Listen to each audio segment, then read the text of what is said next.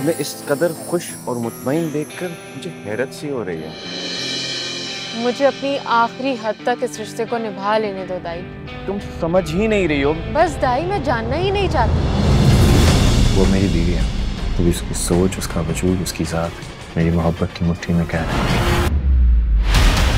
क्या फैसला किया तुम्हारी बहन अभी कुछ नहीं।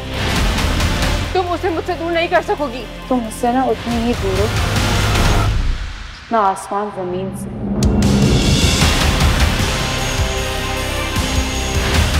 देखिए, ए मुश्ते खाक।